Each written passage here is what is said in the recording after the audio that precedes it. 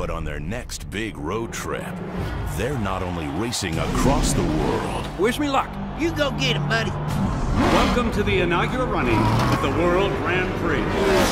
they're racing to save the world.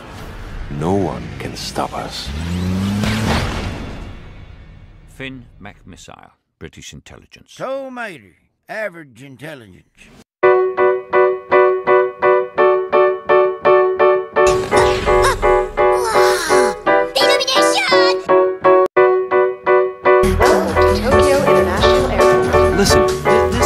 Radiator Springs. These Americans are clearly master spies.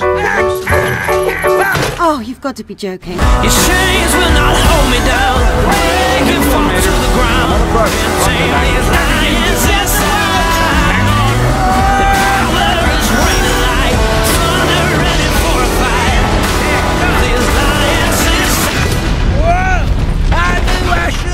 Carry on.